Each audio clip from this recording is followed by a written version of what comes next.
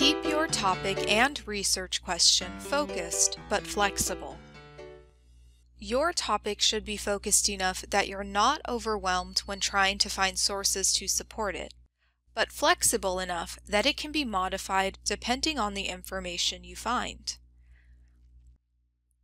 Here are some questions to ask as you zero in on a focused topic and research question. Ask yourself, is there published information on this topic? Do a quick search using Google or OneSearch to make sure there's existing information on this topic. Remember that your assignment might call for specific types of sources, like books or journal articles, so before you settle on your topic, make sure there's related information in those types of published sources. Check with a librarian if you need help finding published information on a topic you're considering. Is this topic too broad? Can you imagine multiple entire books being written about this issue?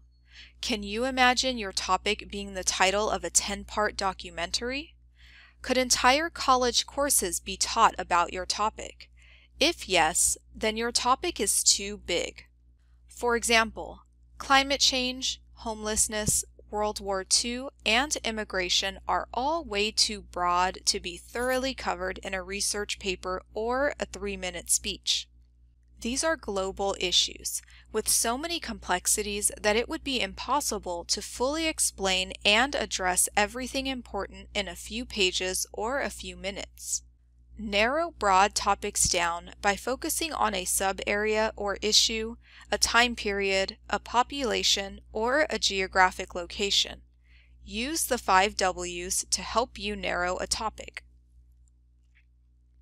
Is this topic controversial?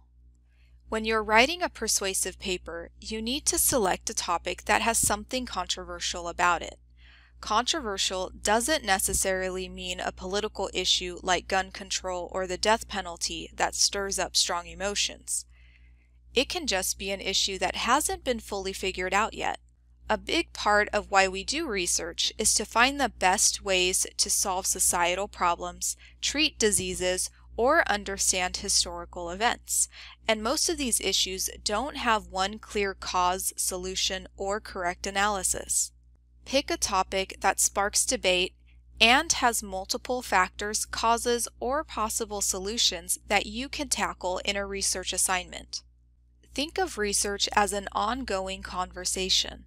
Researchers build on the work that others have done before them, and those conversations often stretch back decades.